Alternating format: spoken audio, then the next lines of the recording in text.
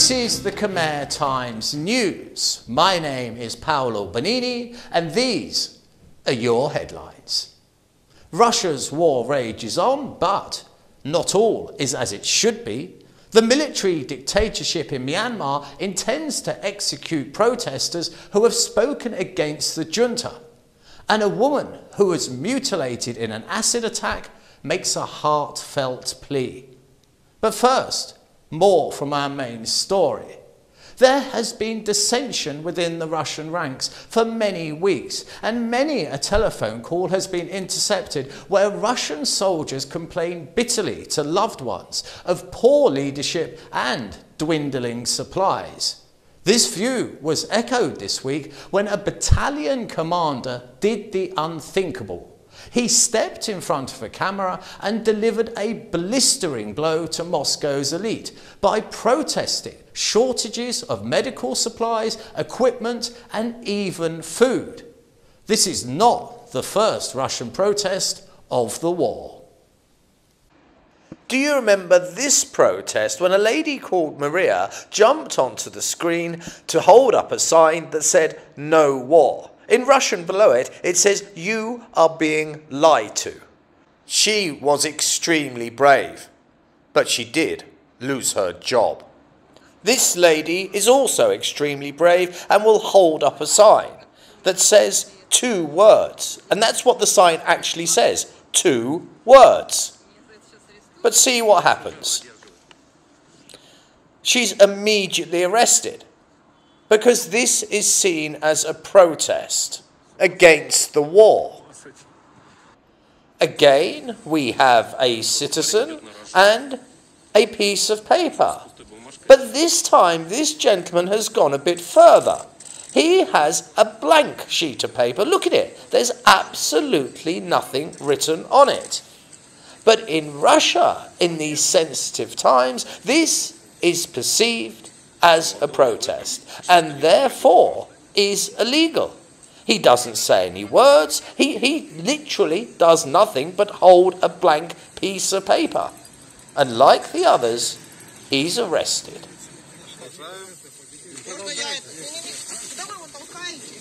Все, забрали. So imagine how much bravery it takes for this battalion commander to stand in front of the camera with his paper filled with words that will make his superiors rage with anger.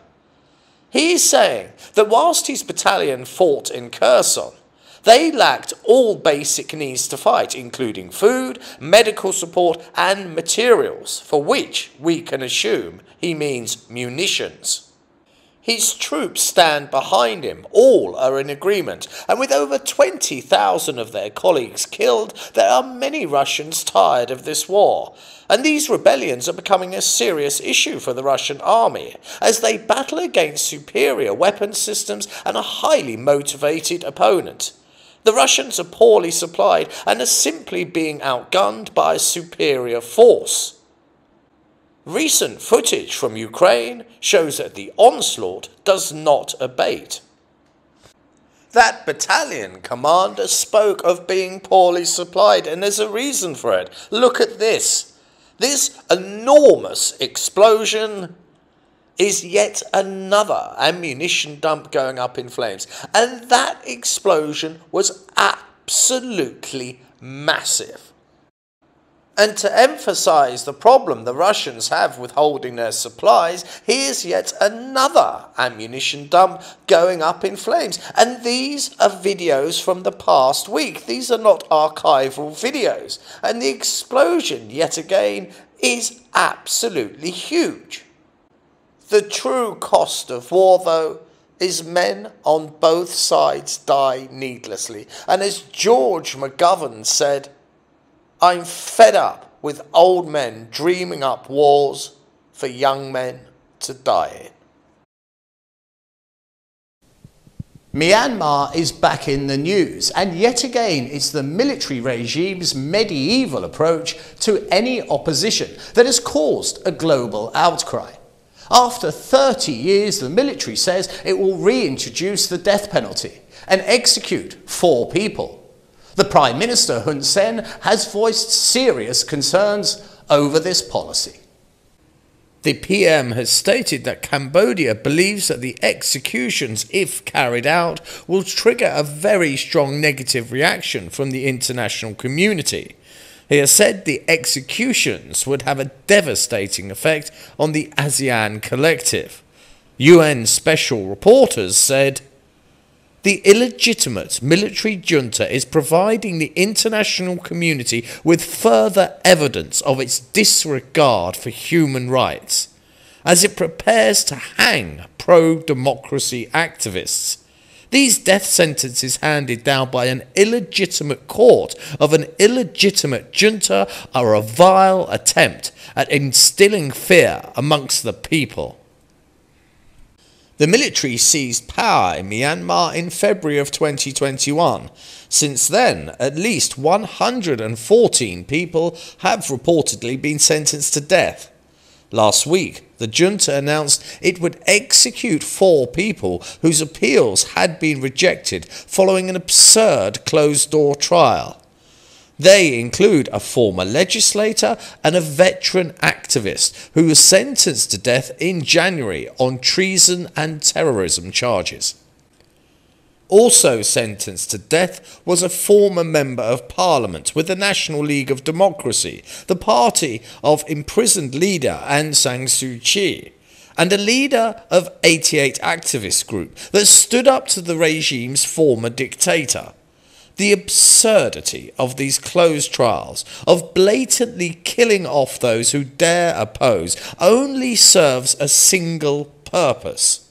And that is to instill fear into the entire population. The message from those criminals is clear fear us, do not oppose us, or you will be taken, you will be tried, and you will be killed. The Health Ministry has initiated strict measures this week to prevent monkeypox from being imported. These include screening by health workers at air, sea and land entry ports and mandatory quarantine for those who are infected. Director of Communicable Diseases told the Khmer Times that infected people will have to stay in quarantine for 21 days. There have been over 1,285 confirmed cases reported to the WHO from 28 countries where monkeypox is not usually reported. This represents an increase of 505 cases since the previous outbreak of the 4th of June 2022, when 780 cases were reported.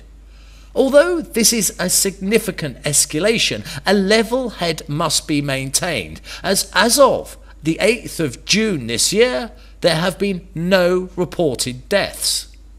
The majority of cases, over 87%, which is 1,112, are from Europe. The second highest is at current America with 153 cases.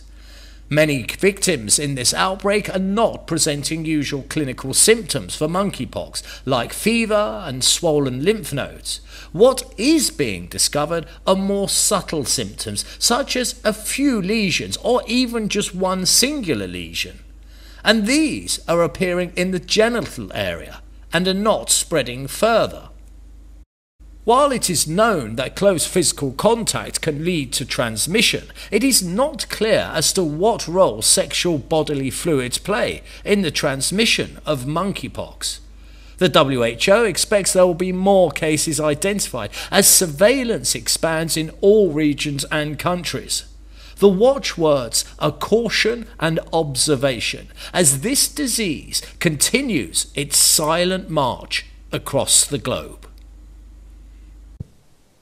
I don't think there are many stories that enrage the public more than those of people involved in assaulting others with acid. The pure, unadulterated evil encapsulated in that one single act of permanently disfiguring someone for the rest of their lives is almost beyond comprehension. One victim spoke to us at the Khmer Times, and her story is heartbreaking. Victims of acid attacks are calling for stronger sentencing. One victim, called Rani, was attacked when her husband threw concentrated acid directly into her face. Her life in that one instance was changed forever. She is impoverished and lives in a small rented room in Phnom Penh. She sat in a solitary chair, her face deformed and contorted, but the tragic sadness of her life was very apparent when she told us at the Khmer Times. I am so sad. When I look at my face in the mirror, I feel so awful. Sometimes I have to turn away. I just can't look. He had wasted thousands on gambling and sold my land.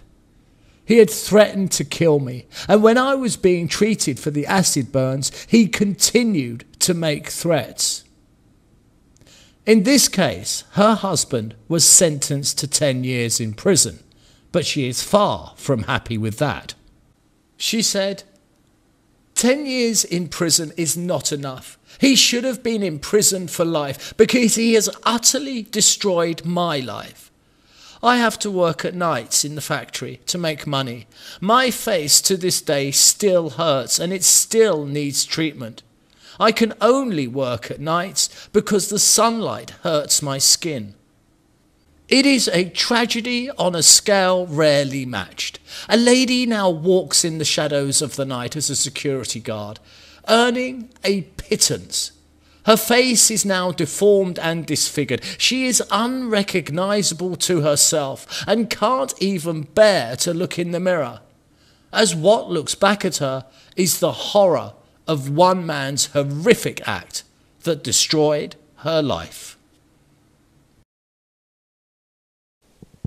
Each year, 400 million people get infected with dengue. About 100 million people get sick and 40,000 die. And it's on the march again. In the first five months of this year, Cambodia detected more than 1,100 cases, an increase of 600 cases. The situation is one for grave concern. The director of the dengue fever program said this week that from January to May there were 1,125 reported cases and two fatalities. This is an increase of 625 cases compared with the same period of last year. The director said people must remove all receptacles that can store water and then can hold contaminated mosquito eggs. He said, all objects are a threat, even coconut shells and car tyres. They can store water, and the water collected within is used by mosquitoes to lay eggs, which helps spread the disease. The tiger mosquito is the main agent, has a variety of hosts, including humans, and it feeds not just during the evening, but also during the day. The participation of each community is very important in preventing the disease and stopping a large scale outbreak. The director confirmed that the increase in dengue fever cases this year was due to climate change and hotter weather. This and increased rainfall made it easier for the mosquitoes to breed. And it is the third year in a row for a large scale outbreak. Dengue fever victims are very noticeable. They have high body temperatures, nausea, vomiting, abdominal pain, as well as muscular pains. If suspected, they must go immediately to the nearest public hospital to seek help. And now it's time to look at our sports news.